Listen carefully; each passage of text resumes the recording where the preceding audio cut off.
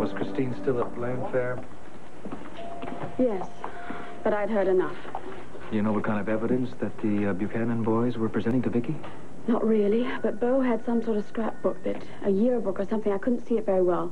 He was showing Viki, and it obviously convinced her that Christine had been lying to her. Do you think Christine was able to win Viki over at all? Michael, you kidding? The way Viki was, the president couldn't have won her over. I've never seen her so angry. Ah, she must be devastated. Well, don't worry about Viki. You should worry about Clint, Bo, and Asa. They're not going to let this drop. They're out for blood. Leo's blood, I'm afraid. Oh, I knew using him was going to be risky.